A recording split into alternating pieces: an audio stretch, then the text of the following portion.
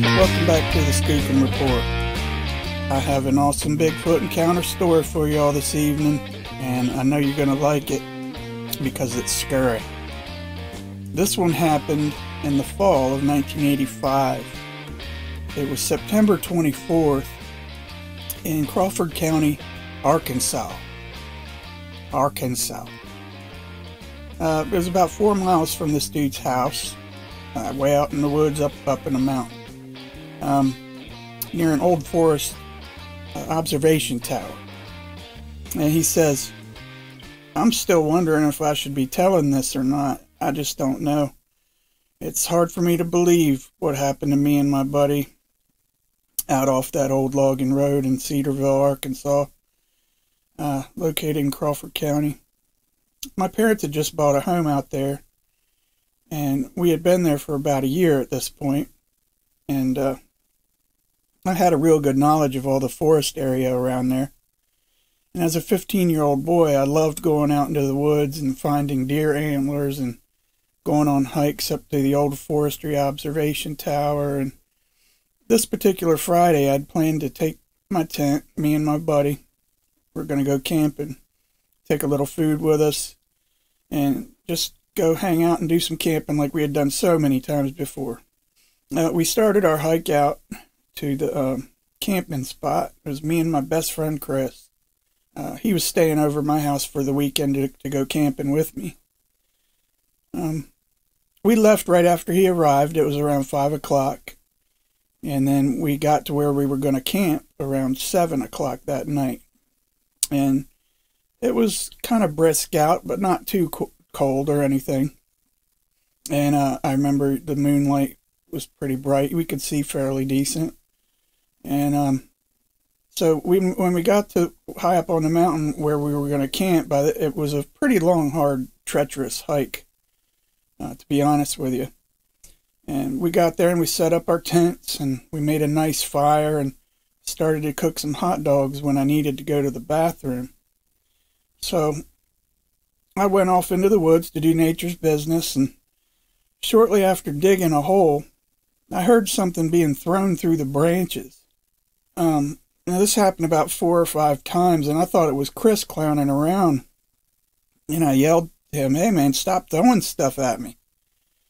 And I heard him yell back, uh, "I'm not throwing anything at you, and quit playing games. Because if you throw anything else at me, I'm really gonna throw something at you."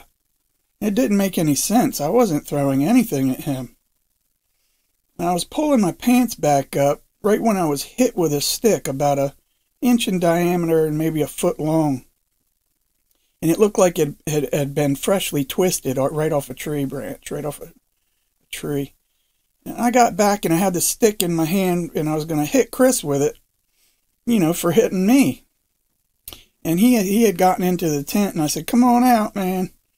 And he said, I got in my tent because I was tired of getting hit with stuff you're throwing at me. And uh, it just didn't make any sense. And it was not too long right after that we heard this long, low, grunting, burping sounds. That, that it was it's hard to describe.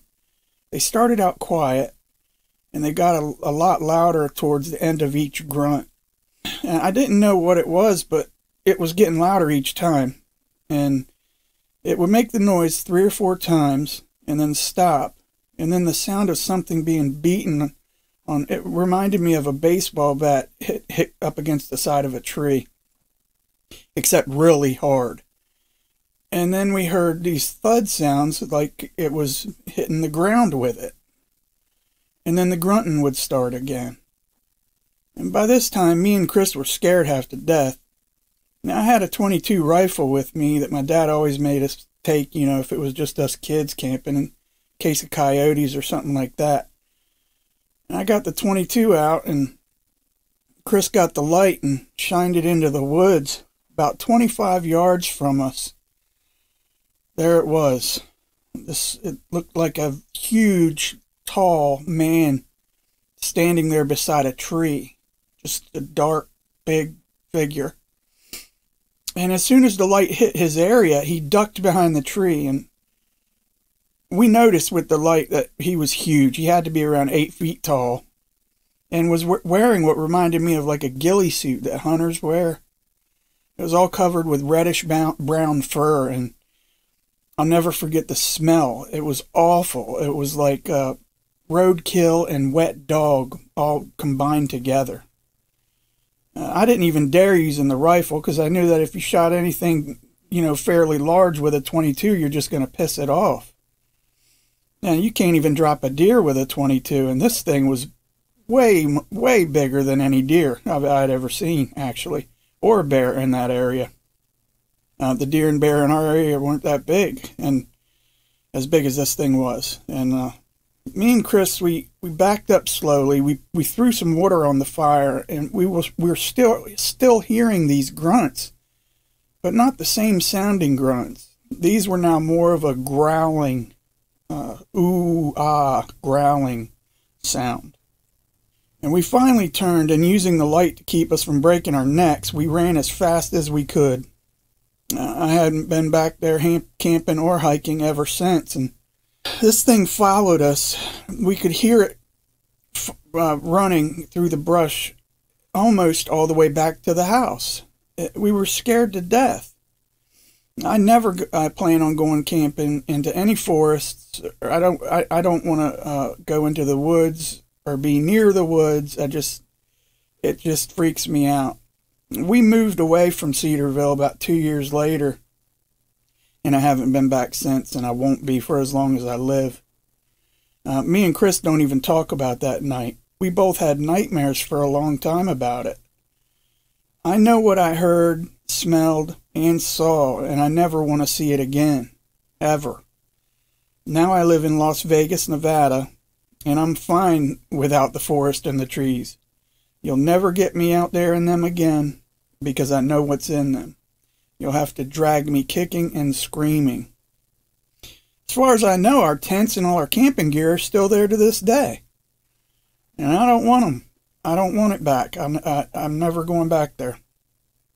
Wow. It, it just, the, the old folks in the area used to, um, I remember they used to say, if you, you boys going camping, be careful because the big hairy man will get you. And I know that that's, I, we never took that seriously. It sounded like something all old people say to kids, you know, just poking fun. And we never talked about it after that. We didn't tell too many people or anything because, um, at least not there in those country people, uh, you would get laughed at. You'd just get laughed out of out of town. It, it would. It made no sense to even bother talking about it. And to this day, I have this irrational fear of the woods. And when we shine the light on that thing, we noticed the face and the eyes were so big. They look, they reminded me of like black glossy pool balls, like uh, pool billiard balls. And, and the nose was kind of broad and flat. And uh, unlike a lot of other descriptions of Sasquatches you'll hear, this one's shoulders weren't as wide as you would think, given its height, you know. Um, the arms were super long compared to human proportions. These things hung down to his knees. Um, and like I said, it, it followed us almost all the way back to the house, scared to death. And uh, these old folks around here, they still, you know, have stories to this to to that. Well, up until we moved, you, would hear them talk, tell stories, and it's just we know the truth, and there's a lot of truth in them stories. Uh, we we never took them seriously, but uh, that's the encounter, and that that's that is something else, man. I, I tell you what, he was doing the right thing, digging a hole, because um, that's right where I'd need to be if I saw one of them things walk up on me camping. I would I would fill that hole up quick. Oh my goodness. Um, if you or anybody you know has had an encounter or, or seen a Bigfoot or had a sighting, uh, shoot me an email at uh, skookumreport at gmail.com. That's skookumreport at gmail.com. And I'll get it up on the channel for you so everybody can hear, hear your encounter story. And um, I love these Bigfoot stories and encounters. They're just awesome. Uh, don't forget to subscribe and hit that like button and uh, leave a comment and let, let us know what y'all think of the channel and if you have any ideas um, just uh, hit, hit, me up in the comments All right, y'all. I hope y'all have a wonderful rest of your evening, and I'll talk to you soon on the Skookum Report. Bye bye, guys.